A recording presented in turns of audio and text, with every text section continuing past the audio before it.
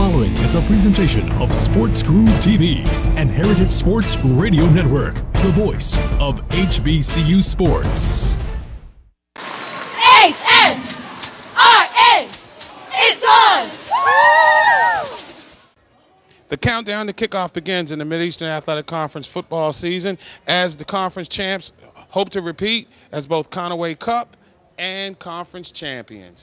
I'm Mark Gray in Norfolk, Virginia, and the HBCU Sports Nation is next.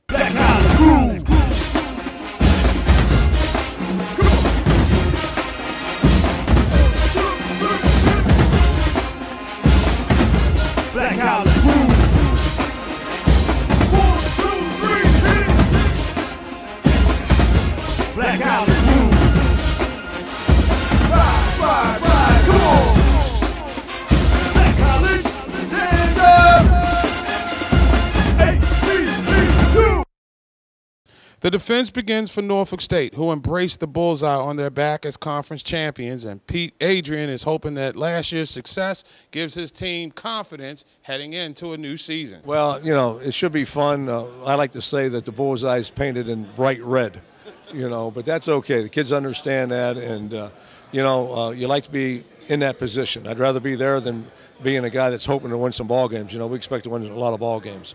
However, there are formidable challenges to the Spartans' throne. South Carolina State is picked to finish second for the first time in five years. Bethune Cookman was stung by not making the FCS playoffs despite beating Norfolk State last year, and Florida A&M, who's playing with a chip on their shoulder after a tumultuous year in Tallahassee. We hear them talk about uh, that they look forward to this year because certainly there is uh, the band uh, won't be with us for a year, but they said it's going to be a band of brothers uh, out on the field, and the kind of noise that they're going to be bringing will represent uh, the highest of hills uh, in Tallahassee. Well, definitely, we bring back a lot of confidence because they, they know we can go out and play with any team on any given day and win the football game. So uh, it's tremendous when you have a team that has confidence uh, to go out and play. we first face having to not be the champion. Uh, anytime you uh, play football or you coach football or you do anything in football at South Carolina State and you hadn't won at all, then you you are a failure of sorts. So, you know, we got our work cut out for us to get back to where we've been in the past. However, there are several teams who look to make a giant leap into the upper echelon of the conference as Howard, North Carolina A&T, and Morgan State are banking their seasons on talented skill players who are expected to step up. Now Greg McGee understands defense. You know, he understands his role as, as a starting quarterback as far as getting his guys to go. He understands that he don't always have to make the plays, the big plays to win ball games, just play within the scheme.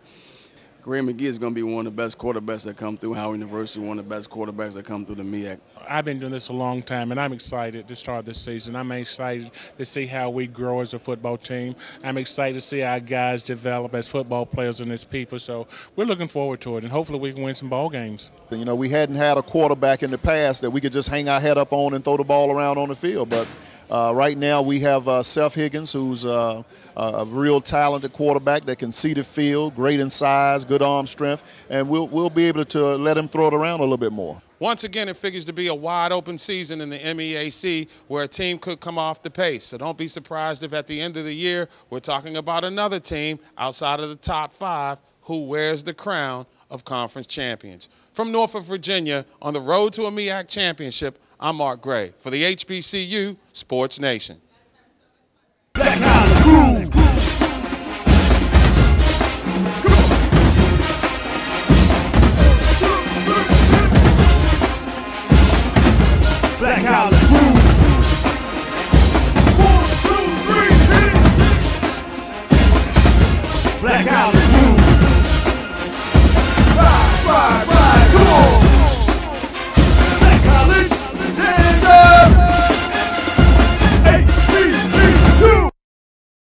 This has been a presentation of Sports Groove TV and Heritage Sports Radio Network, the voice of HBCU Sports.